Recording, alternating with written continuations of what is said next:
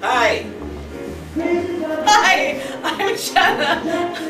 and I'm Manu. Welcome to Tuesday Night Jump at the Verdi Club. This is the fourth week of our March series, so we're going to finish all, all up with uh, building on what we did last week and a little bit of new stuff for this week as well. You ready? I'm ready. Let's show how it's done. We're going to start with our uh, swing out or swing crash, uh, which is a festival in Lake Como. I don't know if you know this, but the swing this crash. is for you, Vincenzo. Swing crash in like Como. Crash.it or whatever.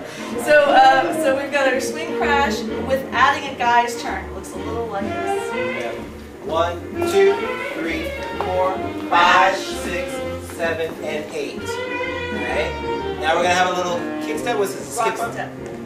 With Rock step. skip up, two,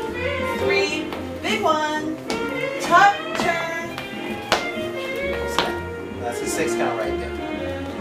Yeah. Now the new stuff is Alita's going to do a swing out with kind of an inside turn for the follow. You'll see what I'm talking about. We have a one, two, three, and four, five, six, seven, and eight. One, two, forward. Three, four. Okay? So make sure that step is forward for the leaders at that point.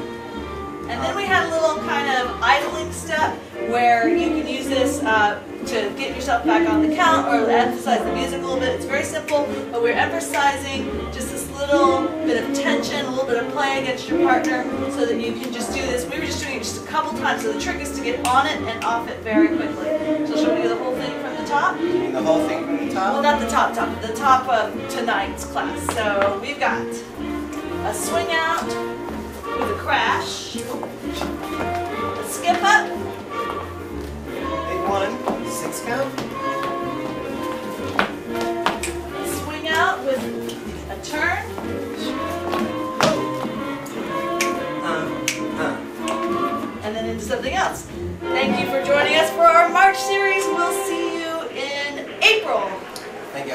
you